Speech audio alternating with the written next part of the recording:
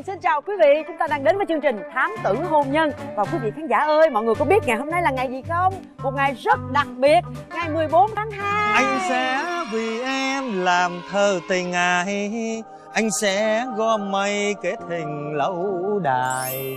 Đợi chờ một đêm trăng nào tới Đợi chiều vàng hôn lên làn tóc Đợi một lần không gian đổi mới Đón hai đứa chúng ta mà, Mà thôi. thôi Thôi. Là thôi luôn hả? Đây, lâu đài tình ái. Lâu đài tình ái. À. Giới thiệu với nữ nghệ sĩ Cát Tường hôm nay Lâu đài tình ái này một nhân vật rất dễ thương, rất nổi tiếng là một người chị của chúng ta. Vâng, xin mời quý vị chúng ta sẽ vào tham quan lâu đài tình ái của diễn viên Hiền Mai. Yeah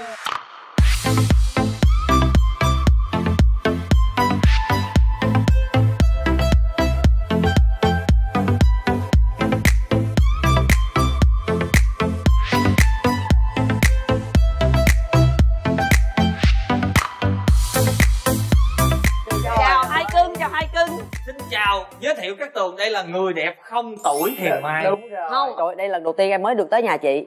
Giờ chị dẫn em đi tham quan vòng để em ngưỡng mộ chị quá à. đâu có gì đâu Chồng chị đâu rồi để em chào ảnh cái coi nào. Ông nghe đoàn phim tới ông sợ ông trốn Trốn tiêu à. ừ. Dạ chào anh. Đây đây nè giới thiệu với anh nè. Đó nữa. À, Em chào anh. Này thì quen quá rồi. Chồng của nghệ sĩ Hiền Mai. Này quen quá gặp hoài. Rồi sao cầm hoa ta chi vậy? Em ờ, hôm nay là ngày lễ tình nhân. Em dạ, Em ờ, em tặng cho anh chị. Ok. Cái bó hoa này. Ok. Cảm đại ơn diện gia đình cảm ơn em đi ok cảm ơn em nhiều nha. Cảm ơn em đã trả lại cho anh chị cái đồ của anh chị. Ủa vậy hả?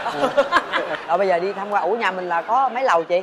ba lầu. Ba lầu. Giới thiệu quý vị đây là bức tranh mà Tiết Cương sẽ tặng. Vậy nữa hả? Ủa mà chị chị? 20 tuổi. Mà sao toàn là tranh vẽ này không nè? Chị chị chị. À, vẽ?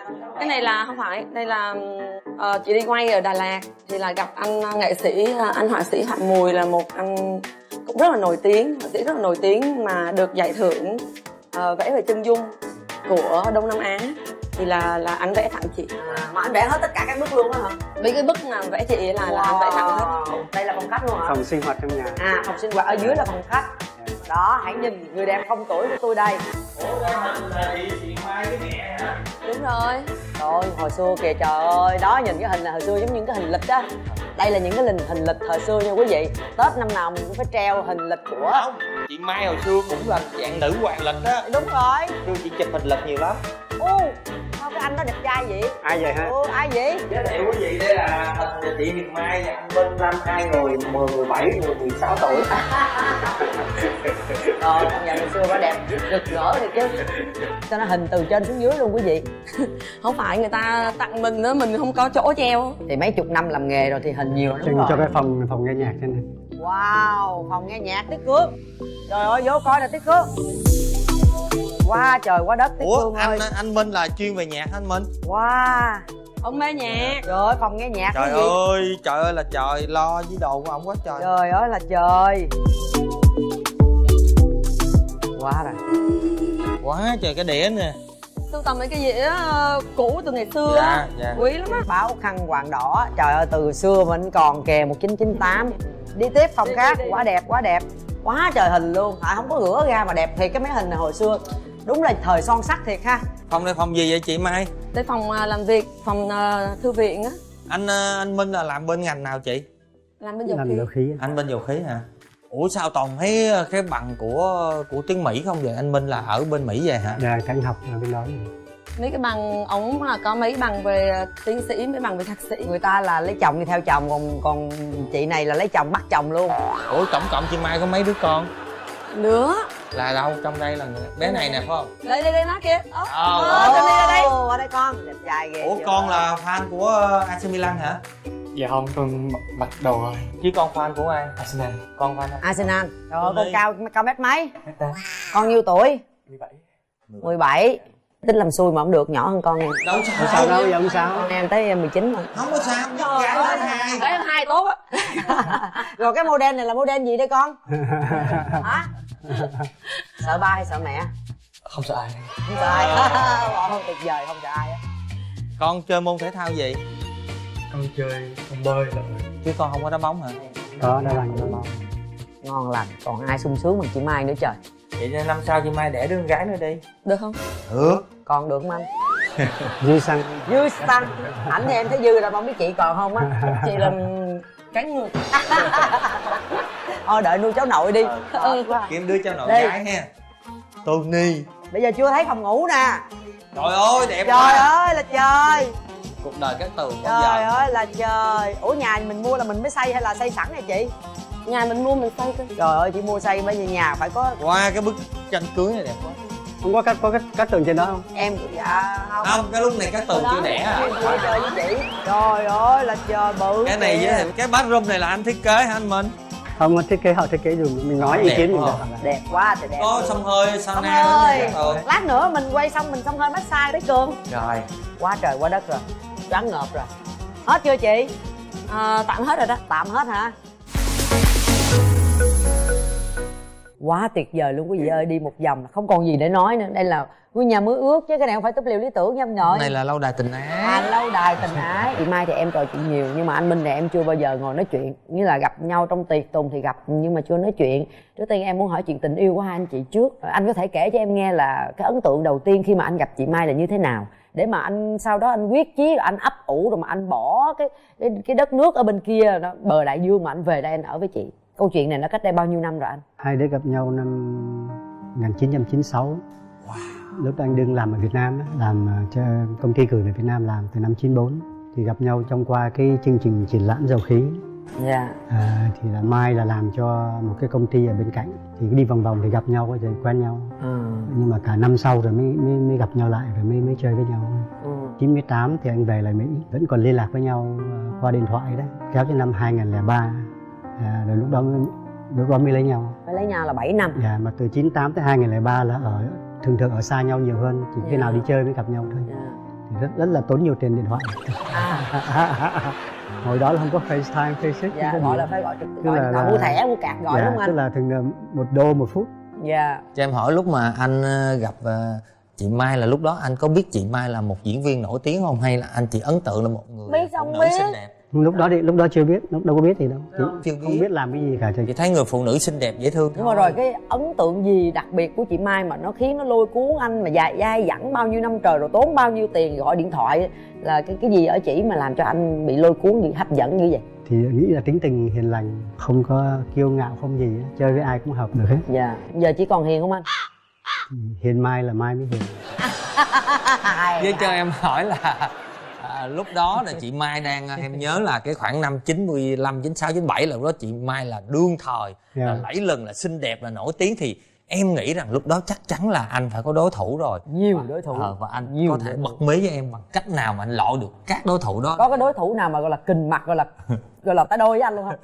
Cái không lúc đó không biết chỉ biết là có có có có có người có chơi với người cũ thôi nhưng mà không biết là có chưa gặp nhau có thể gặp nhau thoáng trong tiệc hay sao á, tiệc nào Dạ. đó mà không có không có biết là thì cái cái mình lại lấy cái cái chân tình của mình ra thôi chứ đâu có cái gì khác. Là mình có nhưng mà cái quan trọng nhất là lúc đó là chị đã đang quen người cũ. À là, là thì ông tấn công.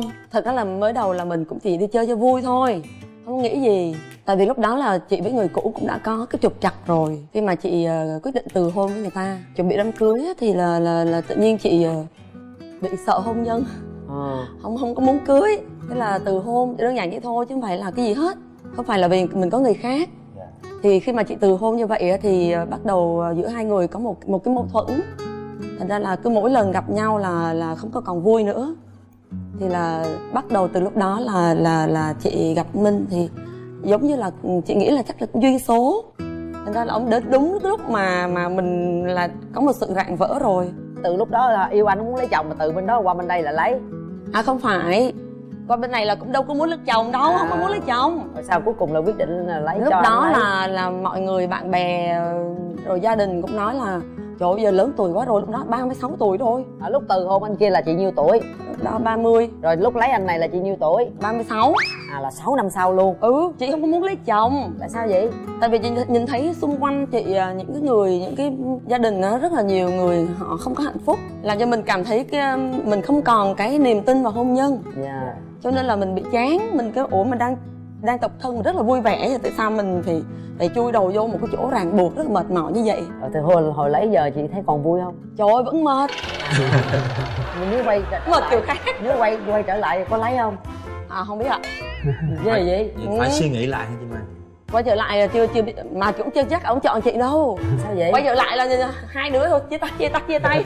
Trời ơi, có một con nhỏ đã quá trời cơ ngơi rồi Cuộc sống nó thoải mái nhẹ nhàng. Giờ chị đâu còn cái áp lực gì Không có một cái nặng nề, một cái vướng bận gì trên cái cuộc đời này. Chỉ là hưởng thụ, hưởng thụ và enjoy và hạnh phúc. Chị còn muốn gì nữa? Cũng còn nhiều chuyện để mà mà mình phải ờ, suy nghĩ và phải ờ, Suy nghĩ gì nữa, bây giờ em thấy chị chỉ có ờ rảnh là mình cứ hưởng thụ cuộc sống bên chồng bên con Rồi chuẩn bị đón nuôi cháu nội. Đối với nghệ thuật thì mình cái gì phù hợp mình thích thì mình làm.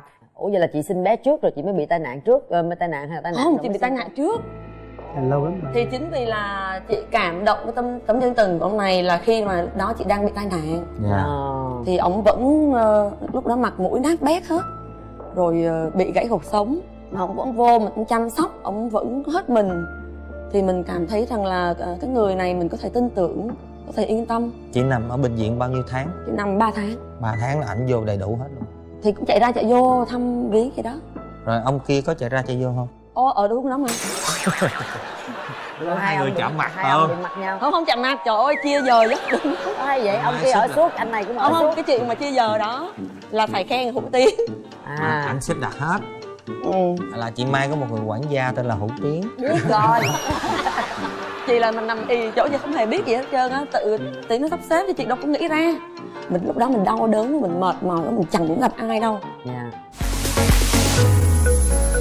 rồi thôi đến cái đoạn mà lúc mà lấy nhau rồi á thì có một cái cái cái cái thiên tình sử nó còn dài dẳng hơn nữa. Hai người yêu nhau là 7 năm trời là em nghĩ nó quá trời hiểu nhau rồi mà đã lấy nhau là cái tuổi cũng đã là cái tuổi quá là chững chạc ha. quá là 37 tuổi lúc đó là anh bốn mấy ha là đã còn gì nữa đâu đâu có lầm lỡ gì đâu thì tại sao về lấy nhau về mà vẫn còn vẫn có ờ, xích mích vẫn có xung đột.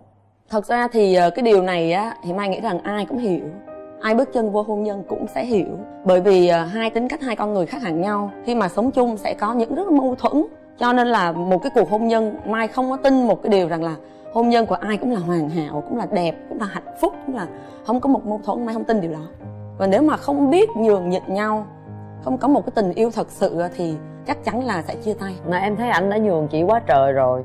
Thì phải nhường chứ mà còn xích mích gì nữa em nghĩ ảnh cái kiểu ảnh là chắc chị có nói gì nó anh cũng ngồi im à. Là bây giờ đang hỏi tính xấu đúng không? Dạ thì ý là cái cái ý vấn đề như vậy là thì cái thắc mắc là cái cái gút mắt là ở chỗ nào chị không vừa lòng gì ở ảnh. Thật ra thì ờ, chồng chị thì có điều tốt là một người đàng hoàng tử tế trung thủy. Ờ, chỉ có đi làm về và lo cho vợ con thôi nhưng một cái điều cực kỳ ghét của ông là ông rất là hay nhăn nhó. Nhăn nhó nhưng mà có cằn nhằn không? Nhăn nhó căng nhăn nhăn nhó là phải ghét cộng vô với nhăn nhăn nói chuyện gì? Ví dụ anh nhăn là nhăn cái đủ thứ đó hồi mà sáng mới vừa tức thì cũng mới nhăn chị mới phải la làng lên đó. Nhăn cái gì nữa? Nhăn ờ, đang phim tới rồi giờ này chưa xuống nữa à, lúc nào cũng kể nãy này kia. Thôi, ê chuẩn bị quay rồi. Đừng nhăn nhó này kia là mất mất cảm xúc như ông. Là nhăn đủ thứ hết á. Cái này em khách quan thấy cái nhăn của mình rất dễ thương không không hề dễ thương. Nếu mà lâu lâu nhăn á thì mình cảm thấy là chấp nhận tạm chấp nhận. Cái một trong cái tính xấu của mai là lúc nào cũng trễ giờ. Mà anh thì rất là đúng giờ. Ví em hẹn 10 giờ là anh 10 giờ là anh xong rồi. Vì anh thấy anh cần phải có sửa soạn một tiếng đi.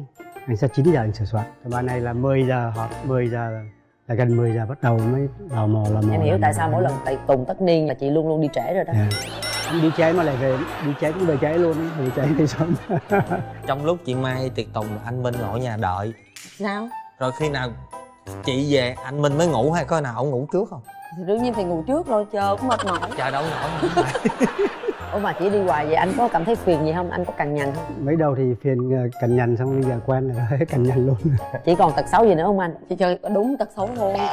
Chị để cho người ta nói. Chị làm những cái tật xấu em. Chị là toàn tốt. À vậy hả? Rồi tốt chỉ gì có đâu chị cãi có thôi. Tốt nhiều. Dễ thương nè chân thành nè dễ gần dễ mến. Đáng yêu thật thà thật tình. À. Hung dữ không không hề không dữ chị cái mai có dữ không ờ, minh thì tên cái tên là như vậy rồi sao thì đã nói ngày mai mới hiền rồi mà. Đặt tên là như vậy rồi biết không cái này mình phải có nhân chứng. Kêu nhỏ cái đi ờ à, Tiết cương phải liên lạc ờ, bé tony ha. Anh ra anh phải bỏ nhỏ trước là nó À. phải nói sự thật nha. Chưa chắc. Tony ơi Vô đây con. Vô đây chơi. Phá cái đầu nhỏ này rồi nha. Giờ á, con phải làm trọng tài Con phải nói thiệt chứ con không được binh ai hết trơn nha. Mẹ con có tật xấu gì Ba con có tật xấu gì Giờ con kể mỗi người một tật xấu của Tường nghe coi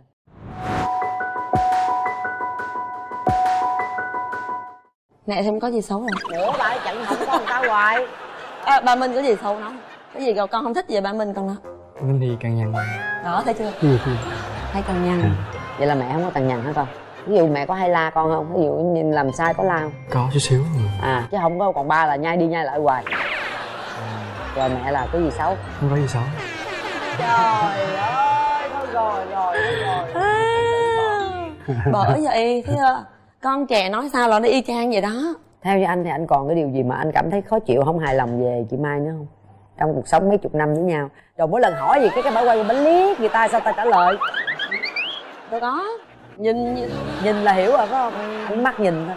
Mê chơi mê đi chơi với lại mê rượu chè ủa mà anh có cảm thấy khó chịu có nào anh khuyên chị bớt lại rồi sợ anh sức khỏe rồi này cái gì ừ, không? khuyên hoài mà đâu có được đâu thì thôi bây giờ Là chị thua luôn. luôn phải tự biết thôi chứ giờ mà khuyên có hoài giờ mà chị mai đi nhậu về rồi say xỉn mà mệt mỏi rồi anh chăm sóc không?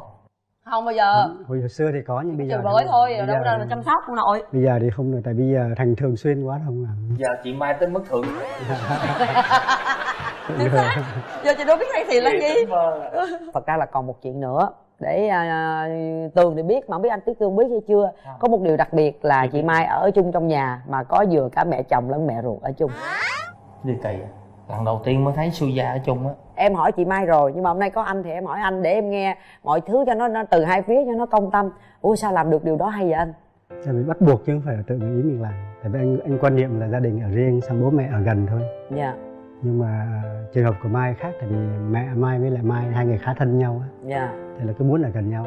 Lúc mà mẹ anh về Việt Nam á, tính ở Việt Nam á, mà mẹ anh lại bị stroke á, tức là bị tê liệt nửa người đó và một người mẹ của Mai lại không bị gì hết vẫn còn tỉnh táo vẫn đi được. Mà lại ở chung mà cho mẹ mình cho đi ở riêng thì là rất là kỳ.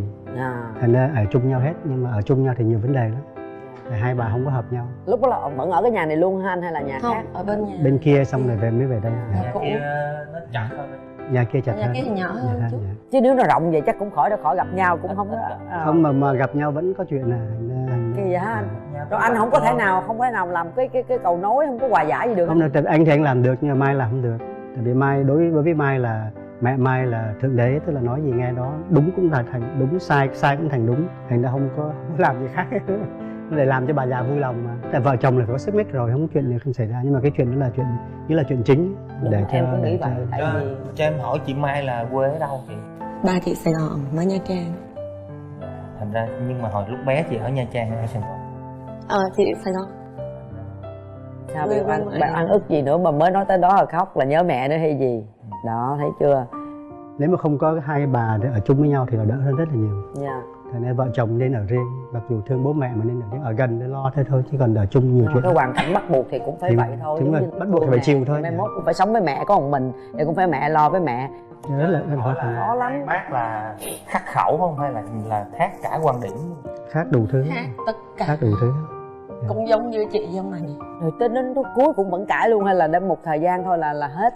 Chị đến khi mà dọn qua nhà này á thì là một bà chị để ở dưới một bà để trên lầu thì là đỡ hơn. Đỡ gặp nhau hơn. Dạ. Và đỉnh điểm cuối cùng là anh chị cái cái cái, cái cao trào nhất của anh chị là nó xảy ra mâu thuẫn như thế nào? Thì định điểm là tụi chị muốn ly dị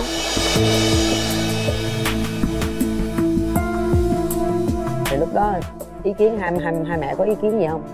Hai mẹ chắc mừng lắm á chị. Ủa vậy hả? Không biết không biết. Một mẹ thì mừng mẹ kia không biết gì hết. Cuối cùng thì cũng may mắn là chị nghĩ là còn duyên còn số còn nợ thì hai đứa ngồi với nhau nói chuyện và quyết định là không nghe lời hai mẹ nữa. Lúc đầu á là chị nghe lời má chị ông này nghe lời mẹ ổng. Rồi nhảy lên chịu lộn nhau tưng bừng nhà cửa. Và hầu như ngày nào cũng như vậy đến mức mà chị chị sợ về nhà. Giai đoạn đó là chị bị stress nặng luôn. Chị bị stress nặng chị bị trầm cảm. Thôi bây giờ mình phải tâm sự riêng đi tí cưng tâm sự riêng nha. Chứ tâm sự chung là thấy anh ngồi anh cũng hơi ờ, khó nói nhưng mà Con- chung chung riêng cũng vậy thôi đâu có gì đâu. Dạ. không, không có gì để tụi giấu chị, cả. tụi chị là nói thẳng mặt nhau. Không có cần mà chung riêng nhưng mà rồi từ khi mà hai mẹ mất rồi thì hai ở nhà mình còn xính dính gì nữa không? Còn gây gỗ gì nữa không? Vẫn gây lộn. Gây, chuyện gì nữa? Nói chung là chị với ông này không có hợp nhau. Kỳ gì? Khắc khẩu. Khắc khẩu thôi. Xa xa thì nhớ. À có nhớ. Có nhớ. có nhớ là được. Nhưng mà nhưng mà, mà ở gần cái là muốn chửi lộn liền à. Kỳ á ai biết tự ờ, hỏi ông đi thôi bây giờ em em mượn chị Dạ. chút xíu nha. Dạ. anh đi chơi đi anh Ok. đi chơi uống cà phê với Tiết Ok. Cương đi. Thấy ảnh hiền vậy đó, ảnh có ga lăng không? Thì ờ, cái lúc mà mới quen thì cũng có. Đương nhiên rồi nếu mà không ca lăng thì mấy thì chịu? Thiếu gì người. Sau này thì ờ, như mình cũng không để ý. Bữa nay lễ tình nhân nè hay là sinh nhật chị nè hay là này kia kỷ niệm ngày cưới gì đó. Hàng năm rồi anh có nhớ những ngày đặc biệt anh có làm cái gì đó nó nhỏ nhỏ vui vui đương nhiên lúc nào cũng vậy. À vậy là cái răng là có lãng mạn có ra răng chứ có nhiều người đâu có để ý đâu. Có mấy chục năm rồi người ta quên luôn cái vụ đó. Trời ơi quên rồi chị hả? Lãng mạn nhiều hơn là lúc mà mới chơi với nhau thì thì mình bộc lộ nhiều hơn. À, đi đây đi đó chơi với nhau rồi làm làm với nhau đủ chuyện. Mà khi mà mà sống vợ chồng nó hơi khó tí là tại vì ai cũng bận rộn hết rồi đủ thứ vấn đề phải lo đó. không phải ngày nào cũng nói là anh yêu em thì cái đó cũng là hơi giờ cái đó. Tại vì đời sống hàng ngày đâu có đâu có nó hơi khó khăn nhiều khi mỗi ngày làm lần như vậy thì không được nhưng mà thỉnh thoảng thì vẫn làm. Dạ như vậy là thành những ngày lễ rồi sinh nhật. Những ngày lễ thì vẫn vẫn làm gì để mà biết là, là mình lo lắng cho nhau mình thương yêu nhau thôi. Có tặng quà không anh thì cũng có chứ. Mà nhiều khi nghĩ là cái cái mua quà đấy là rất khó tại vì cái gì bảo cũng có hết rồi. Giờ đi nghĩ ra mà đường kiếm gì bây giờ? Theo chia sẻ của anh chị thì thấy là cái giai đoạn mà anh chị bị áp lực nhất và stress nặng nhất đó là chính là lúc mà khi à, hai bác phải ở chung nhà và hai bác có rất là nhiều mâu thuẫn.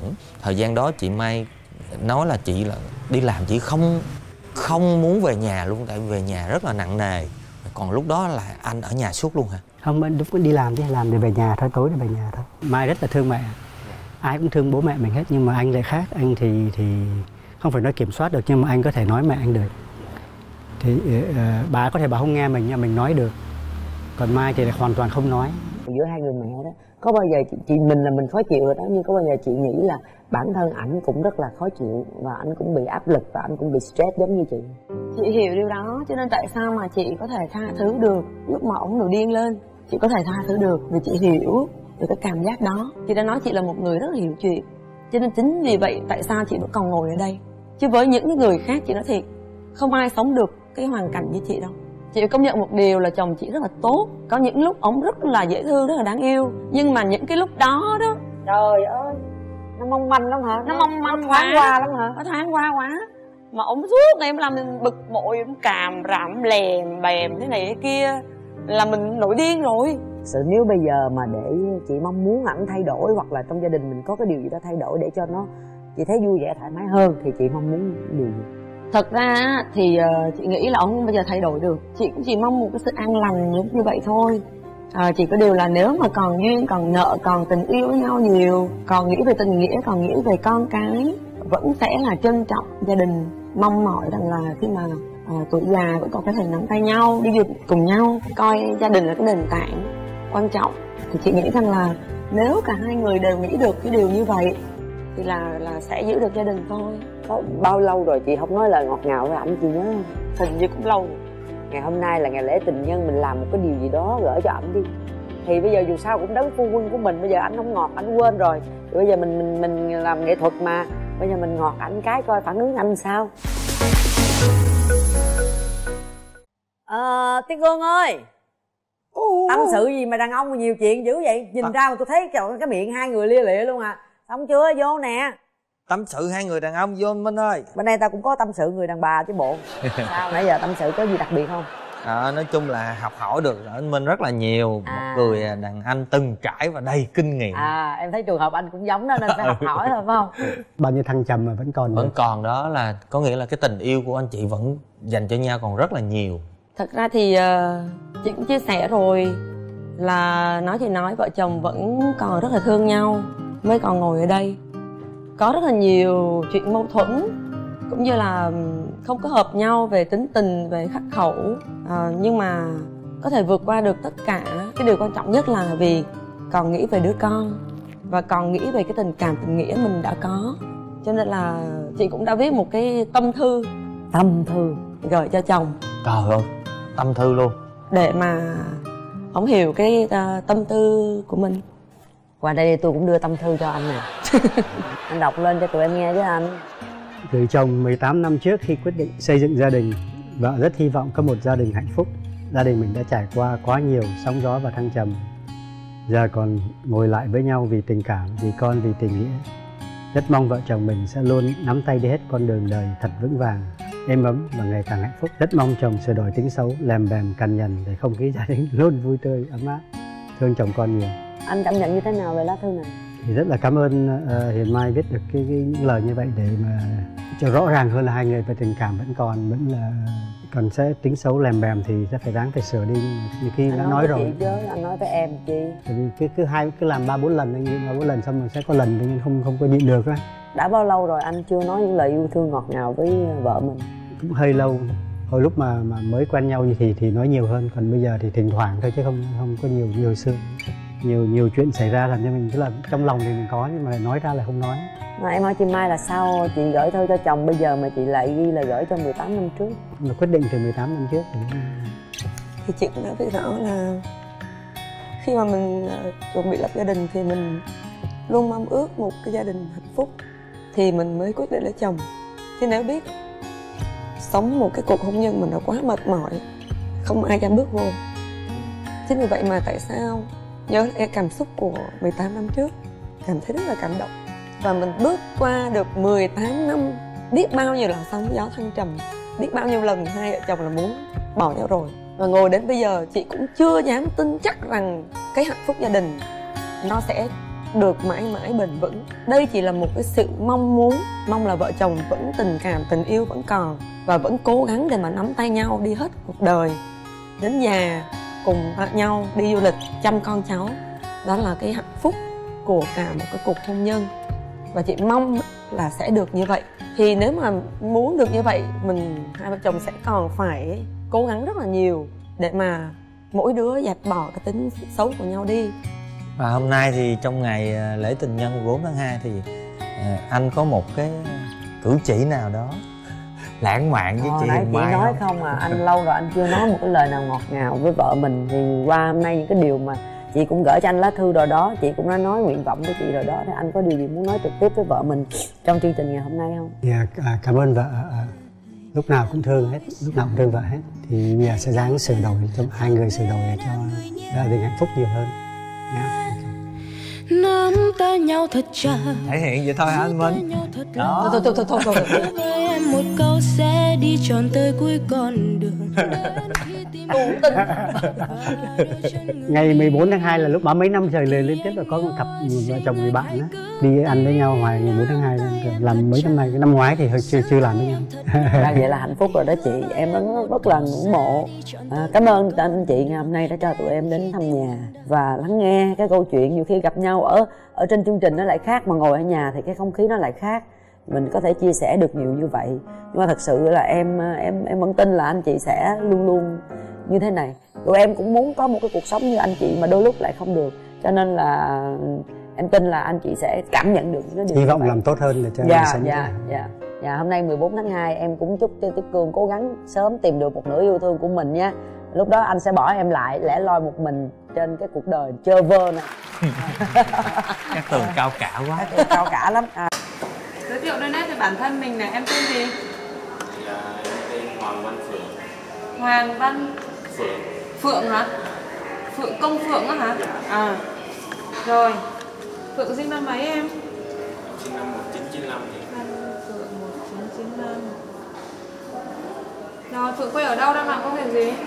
Em ờ, đang làm xưởng sản xuất của em là đang làm quận 12 là có xưởng sản xuất riêng hả dạ. à, em sản xuất về bên ví da bò túi da bò hả dạ. túi ví này ừ. da thật không da thật da thật hả vậy thì mắc lắm đúng không dạ. khoảng bao nhiêu tiền một cái à, nếu mà bò sỉ rồi em là đi số lượng đó thì Ờ. nếu mà bò sỉ thì túi thì cái hai trăm mấy phần trăm ừ. Ví thì cái trăm mấy Ừ. Dạ anh ơi, anh ngồi thẳng người lên cho nó đẹp hình nha. Dạ rồi, anh cảm ơn anh nhiều.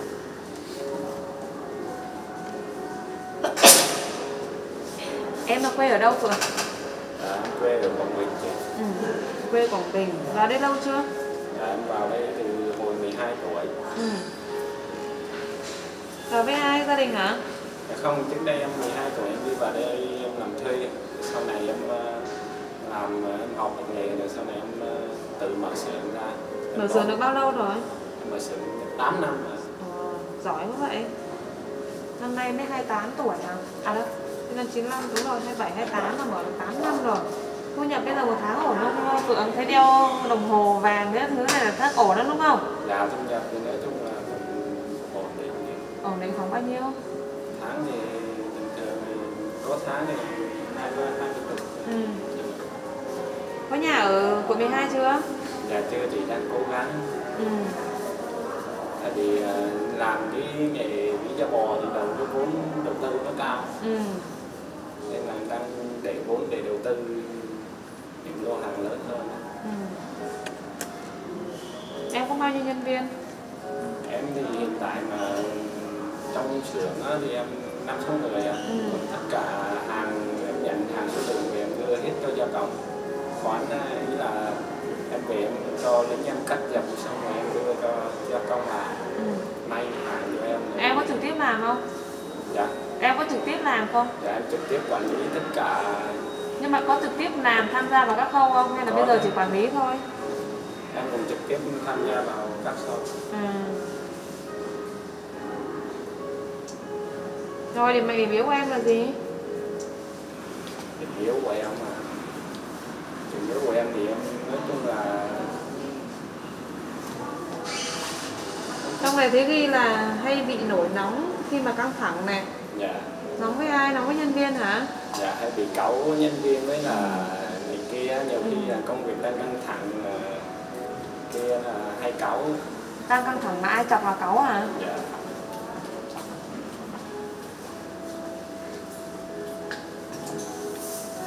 Rồi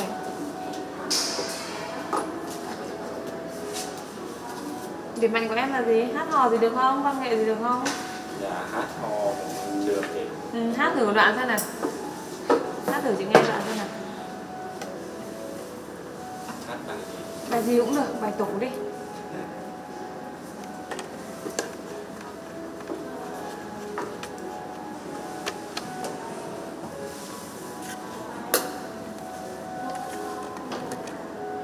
giờ em chả nhớ hát bài gì luôn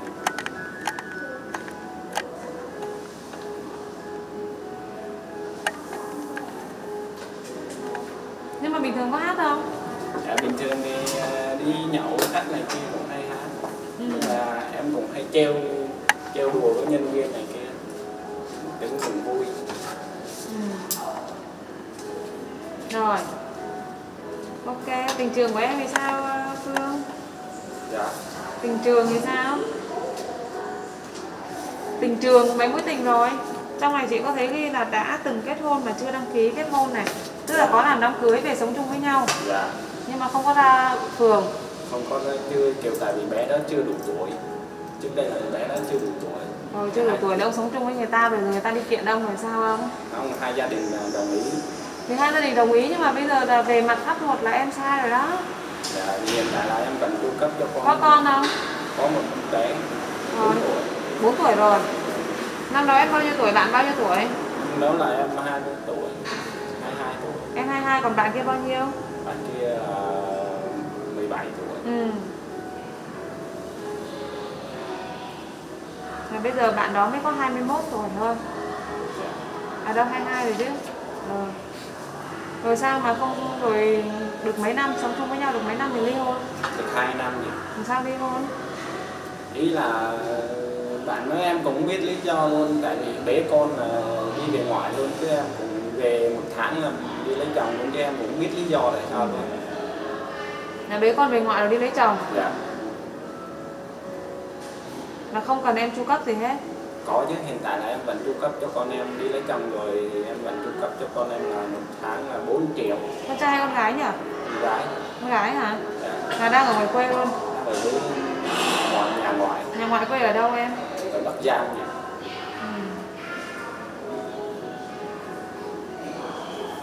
Nhà bạn đã lấy chồng rồi dạ ừ. Rồi sau khi đi qua mối tình đó em có quen ai không? sau đó em ở vậy một năm rưỡi thì sau đó em có quen một người Ừ. cũng được ờ, gần năm hơn 2 năm Ừ. nhưng mà thấy ờ, hai gia đình không ờ, không phù hợp á Ừ. thì sau đó là đồng ý là giải thoát cho nhau một người đi một được ừ. Chỉ vì hai gia đình không đồng ý thôi hả? Hay sao? Dạ hai đồng hai gia đình không đồng ý. Với hai tính cách nó khác nhau. Ừ. lý do hai gia đình không đồng ý là gì em? Là tuổi tác này kia nó tuổi tác làm sao? Không hợp tuổi hay là bạn ấy lớn tuổi hơn em hay như thế nào? Lớn tuổi hơn lớn hơn nhiều tuổi không? Lớn hơn ờ, 10 tuổi. Ồ. Nên là hai gia đình không cho. Là cũng từng đổ vỡ giống em hả? Dạ. Ừ.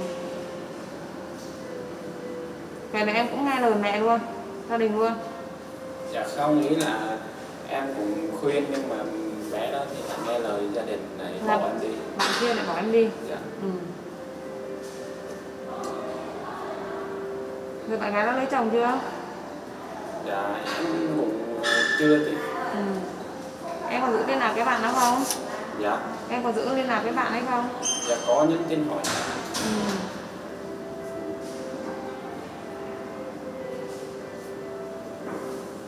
thấy một cô gái ngồi dưới kia có phải người thân của em đi chung với em không?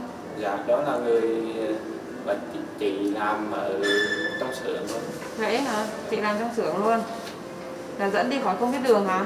dạ Dẫn đi khỏi không biết đường hả? không nghĩ là chị em mời đi chung với nhau cho nó vui Ừ. Chị có gia đình chưa? Có bồ chưa? có rồi. Ừ. Rồi thế bây giờ em muốn tìm mẫu bạn gái như thế nào? em thì nói chung là một người biết hiểu chuyện hiểu công việc Ừ. là được rồi chứ không cần ngoại hình nào thì không không không không mập lắm Ừ. nó ốm tí Em thì hơi ốm đúng không? dạ em thì ốm Mất 68 nó có 50 kg là quá ốm luôn đúng không? Dạ. Ừ. Rồi tuổi tác giờ có quan trọng không? dạ thì bây giờ tuổi tác thì nói chung là ngang tuổi cũng được Ừ. Lớn tuổi hơn được không? Lớn tuổi hơn cũng hai ba tuổi thôi nhưng nếu mà lớn tuổi quá thì Lớn quá gia đình trợ gia đình phản đối đúng không? Rồi lập gia đình là ly hôn có con thì được không? dạ Bạn ấy đã từng ly hôn và đang nuôi con được không? dạ được Ừ. Có điểm gì em không thích bạn ở bạn gái không? Mà nếu mà cứ công việc của em hay đi ra ngoài gặp khách này kia Ừ. thì em không thích là về là game tour này Ừ. kia nói chung là công việc là công việc là phải đi này kia chứ không ở nhà biết được với vợ với con Ừ.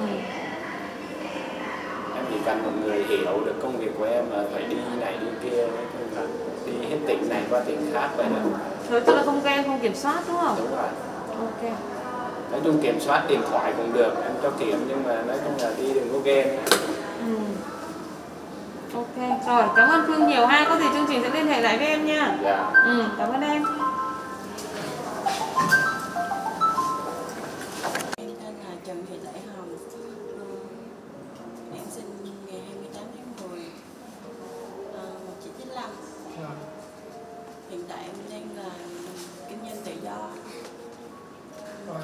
Đào quận 7 Dạ em đang quận 7 Kinh doanh tự do là kinh doanh ờ, mặt hàng gì? Cho thuê phòng trọ Cho thuê phòng trọ ở quận 7 Cho bao nhiêu phòng em? 50 phòng Là nhà này của em hay là sao? Em thuê nhà xong em cho thuê lại À, 50 phòng là nó nó là trong một cái dãy luôn hay là như thế nào? Nhiều phòng Có nhiều nhiều Nhiều nhà hả? Là mỗi nơi rải rác hết hay là hết quận 7 hả? Rải rác ở quận 7. Rồi em làm cái đó là có ai phụ em không? Dạ lúc trước thì em có hợp tác chung với bạn À. Còn bây giờ là một mình em luôn? Cũng còn một vài căn hợp tác chung với bạn Ừ. Bạn gái hay bạn trai? Bạn gái Rồi em làm cái này là lâu chưa? Em làm cũng khoảng 3 năm Trước đó em có làm khác không? Trước đó thì làm bất động sản thôi Sale bất động sản hả? Rồi em nói một chút về bản thân của mình ha Điểm mạnh, điểm yếu của em Điểm mạnh của em thì là luôn năng động, luôn ờ, học hỏi kinh nghiệm từ những từ những cái việc mà mình chưa biết. Ờ, điểm yếu của em là em hay ờ, nóng tính, hay hay khó kiểm soát được người. Nhiều khi nóng tính quá không kiểm soát được công việc. Nóng tính thì chị sẽ làm những Hay chuyện gì? hay khóc lắm. Em nói em tự lập ờ, kinh doanh từ sớm là khi nào em? Vừa tốt nghiệp trung học phổ thông là em đã đi làm rồi. Là lúc đó em làm sale hả? Đó có khoảng thời gian em làm công nhân. Sau đó thì em mới ờ, biết được cái nghề sale. Ừ. giờ lên luôn giờ làm chủ luôn rồi. Rồi làm vậy là từ ờ, 18 tuổi đi làm đến nay để dành được kha khá chưa mua được mấy miếng đất rồi? Mua được một cái cái quê hả? Quá trời đất rồi. Mua dưới quê hả? Dạ. Em dự định về quê vậy không? Ờ, mua thì cũng chỉ đầu tư thôi còn về quê thì ờ, em là con một nên tương lai thì cũng có thể là sẽ về quê ở. Con một luôn. Ba mẹ làm gì ở dưới? Ba mẹ thì cũng làm ruộng bình thường rồi. Rồi em chia sẻ tình trường của mình ha được bao nhiêu mối tình rồi? Em có hai mối tình nhưng mà có mối tình gần đây là em ờ, vừa kết hôn rồi mà cũng cũng được uh, 6 năm sau đó ly hôn ừ. ly hôn lâu chưa em. Được một năm một tháng. Ủa là thủ tục xong luôn rồi hả? Dạ. xong thủ tục hả sao nhanh vậy? Ý là nó xong phương đơn phương hay như thế nào? Thuận tình ạ à, là lý do rồi ở với nhau là được bao nhiêu lâu? Bốn năm. Ở 4 năm. Mà có con gì không? Dạ không có con. Không có con. Dạ. lý do là sao chia tay em? Là do anh đó ngoại tình với lại thêm chị là anh không có biết lo được tài chính cho mình không, không biết lo chỉ để một mình em lo ừ. nhưng mà cái chuyện không có con đó là do ảnh do em hay là có cái gì- người nào có vấn đề về chuyện sinh con không á? Chắc cũng một phần là do em. Là em không sanh được hay sao? Có khám được chưa có thể nếu như mà sinh được thì phải điều trị. À, là em bị gì? Có đi khám chưa? Em bị uh, đa niên buồng trứng ừ. rồi à, bây giờ em mong muốn một người như thế nào? Em muốn một người là có tài chính uh, biết yêu thương biết trân trọng tôn trọng vì người trước mình tôn trọng mình. Ừ. rồi à, quê quán tuổi tác anh đó như thế nào em? Nếu thì em hiện tại đang ở Sài Gòn thì em cũng hy vọng ở Sài Gòn. Ừ. nhưng mà nếu nếu tương lai em về quê nè thì sao giờ ví dụ như anh đó anh không muốn về quê thì sao? Bởi vì nơi nào lập nghiệp được thì mình, mình sẽ ở đấy thôi. Còn tương lai thì ví dụ ba mẹ già yếu thì mình có thể chăm. Mình đưa lên đây cũng được mà kinh tế ở đây làm ăn được thì đưa lên thôi đúng không? Dạ. Tại vì à, bây giờ là nó khác sau này. Em à, rồi em em thích bạn trai tuổi tác hơn em bao nhiêu hay là nhỏ hơn hay như thế nào nè? Dạ ba mươi tuổi trở lên. Ừ, 30 tuổi trở lên trở lên tới 50 luôn có quê lại chị sao già hay là gì? Nhiều khi mình có một mình á thì mình đi về quê mình cũng thấy cho nó phù hợp với mình xíu. Lớn tuổi hơn thì ba mẹ lại nói sao con gái có một mình. Rồi à, anh đó ly dị đang có con được không? Đang ly ảnh ly hôn á. Ảnh nuôi con á được không ừ.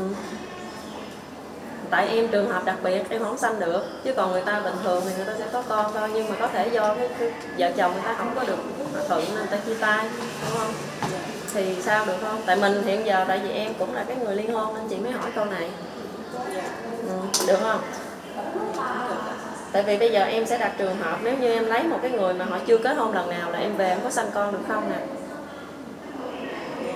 hiểu không? Hiểu chị nói không? Còn cái người nếu họ đã từng ly hôn giống em rồi, họ có khi họ không cần nhu cầu, họ đòi hỏi em đẻ nữa. Thì em suy nghĩ cái đó như thế nào? Thì em muốn nào em có thể nói? Em đang được lựa chọn mà. Ừ. rồi không có con thì em được không? Không có con thì em em sẽ thương lượng với ảnh về cái vấn đề trước đây của mình như thế nào nè.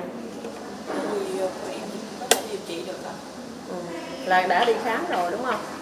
nhưng mà lúc đó là em có điều trị gì không? Không lẽ hai vợ chồng 4 năm mà không có muốn có con hả? Tại vì uh, chồng em ờ, nói là ừ, mình không có tài chính rồi cứ ừ. nghĩ là để một mình em lo thì sao em lo sẽ ừ. với đã nói nếu như sau này có con thì ừ, cũng một mình em thì mình ừ. thấy nhẹ sao mà mình lo sẽ được. Ừ. rồi em có tài lẻ gì không? Ca hát gì được không nè? Cũng biết hát đúng không?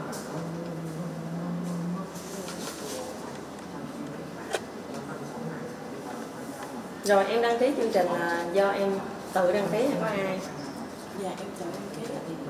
Lý do làm sao em muốn đăng ký chương trình?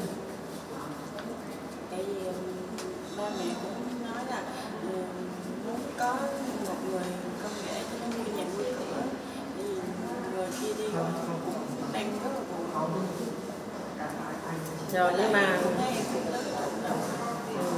tại vì bây giờ mình mình đi lên chương trình thì mình cũng phải tìm hiểu một thời gian nữa. Nhưng mà ở bên ngoài em có khó tìm được bạn không? Chị thấy cũng năng động mà làm quá trời luôn.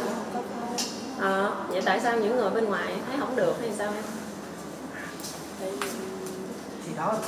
em ờ, hồi đó chưa có mở lòng với người nào em suy nghĩ là em có chồng rồi Ừ. bây giờ thì em mở lòng hơn chưa có tìm được người liền ừ.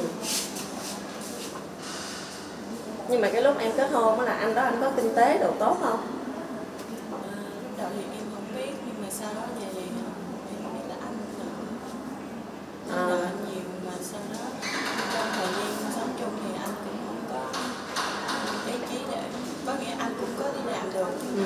nhưng mà cái, cái số nợ đó vẫn cứ duy trì mà không hết vẫn hết mà cũng ở với nhau 4 năm luôn ha đúng không? Là là cũng có khoảng thời gian hạnh phúc ban đầu gì không? Được bao lâu được một tháng một năm hay là bao nhiêu? Cứ về khoảng một năm thì anh là có người khác em cũng cố gắng tha thứ nhưng mà em cứ luôn nhớ tới người thì nó cứ như vậy vậy ảnh làm cái gì em? Cũng xe bất động sản. À. rồi em chịu theo chồng gì không? Hay là em chỉ muốn ở sài gòn thôi? Tại hiện tại em đang làm việc đây em ở Ừ. có không thích người miền nào không? Dạ Ừ. ok. Ba mẹ có kém gì không đó? Ba mẹ nói hy vọng là người người miền Nam của mình À. được tốt thôi. Rồi. Ok em. Rồi được rồi nếu được chọn thì chương trình liên lạc lại với mình ha, rồi hướng dẫn thêm cho em nha. Rồi, xong rồi, cảm ơn em.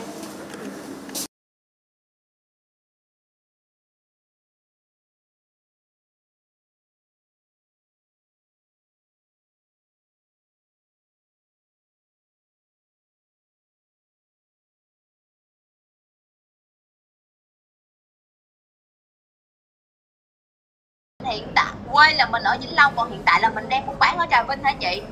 Dạ đúng rồi, chợ Càng Long Trà Vinh. Ừ, chợ Càng Long Trà Vinh. Rồi, thì chị bán sỉ hay bán lẻ chị? Bán lẻ. Ừ. Rồi điểm mạnh điểm yếu mình là gì? Mình đang ở Trà Vinh với ai? Ở với mẹ. Ừ. Rồi mình chủ động mình nói đi chị. À tụi em không có hỏi tiếp ờ, tiếp tục ha, mình chỉ ờ, chia sẻ tự chủ để giúp em ha. Điểm mạnh điểm yếu của mình là gì chị ơi?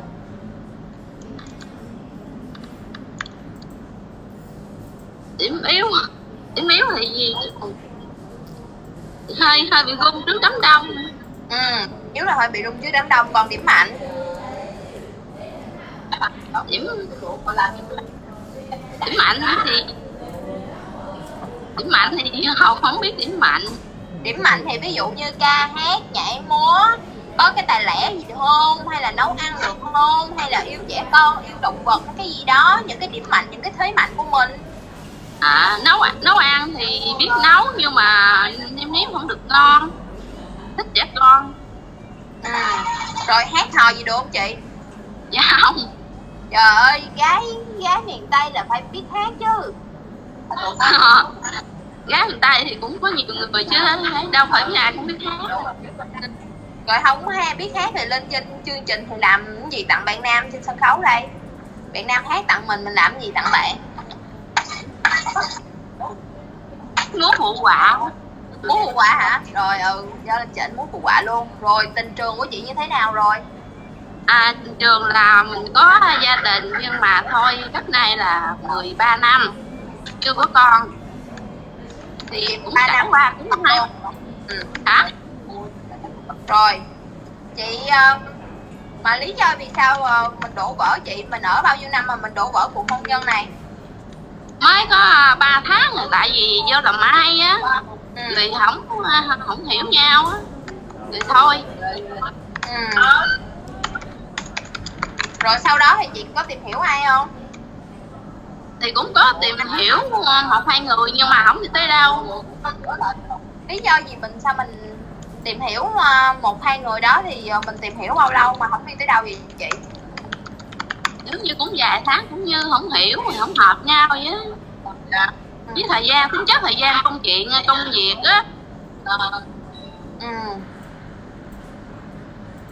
rồi. Thì em lên chương trình này em kiếm bạn nam là từ à, tuổi là từ 36 cho đến 45 36 đến 45 ví dụ như người ta cũng lỡ dở hôn nhân ta đang nuôi con thì ok không? Dạ được chứ. Ừ. cái đó thì em cũng quan trọng. Chỉ quan trọng hai người hợp nhau thôi. Ừ. rồi khi mà chương trình tìm được người cho chị thì chị có lên Sài Gòn ờ, để tham gia chương trình được không? Dạ được chứ. Ừ. rồi cái anh đó thì chị muốn là anh đó quê quán ở đâu ví dụ như anh đó anh đang ở trên Sài Gòn chị có thể lên uh, sinh sống với ảnh và buôn bán với ảnh được không? À, dạ được chứ. Ừ. Dễ ta. Cái đó thì cũng cũng dễ mà. Ừ. rồi à, về ngoại hình thì chị thích một, mẫu người đàn ông như thế nào? Nói chung là cũng không quyết định nói chung là biết nấu ăn. Ừ. Chung thể thì trưởng thành á. Dạng như trưởng thành thì giúp vợ con vậy đó. Ừ. nói chung phụ giúp vợ con. Ngoại hình thì um, nói chung là nói về nhan sắc á, thì nói uh, nhìn, nhìn thì cũng được hoặc là không đẹp nhưng mà có gì thì cũng được. Rồi rồi nhưng mà bây giờ nha ngoại hình nhìn cũng được nhìn cái gì cũng được. Kể em nghe coi. Thì nha nha thì như mặt nhìn cũng được chứ nhìn nếu mà không đẹp mà có duyên thì cũng được. Mình mô tả ngoại hình là con của em là gương mặt nha. Gương mặt đúng không? Ngoại hình mập mạp. Rồi. Cao bắt mét bảy là được. Chị cao mét mấy mà chị đòi chị cao mét bảy? Một mét năm tám. Một mét năm tám thì ta mét sáu được rồi. Từ 36 đến 45 tuổi. Thằng này mới vui thì ít dạ. cao được mét bảy đó mày nói thật luôn á thì tôi chỉ là vậy thôi nhưng mà nếu mà gặp thì nếu mà thấy ưng ý là chiều cao nha sắc là không quan trọng nữa. Ừ. ừ. rồi. Quê quán thì không trọng ở đâu luôn đúng không? Quê quán quê quán thì nếu mà ở trong miền tây luôn được. Mấy tỉnh tây luôn được cũng được. Ừ.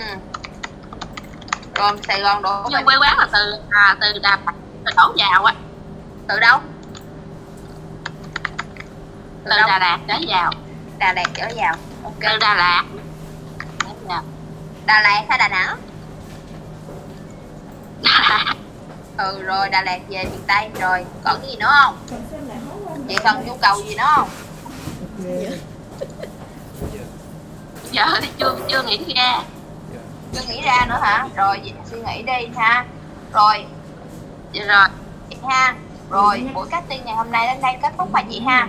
Có gì thì uh, chương trình sẽ liên hệ lại. Dạ giờ chị tắt cuộc gọi rồi rồi giúp em nha. Nút đỏ. Rồi rồi cảm ơn chị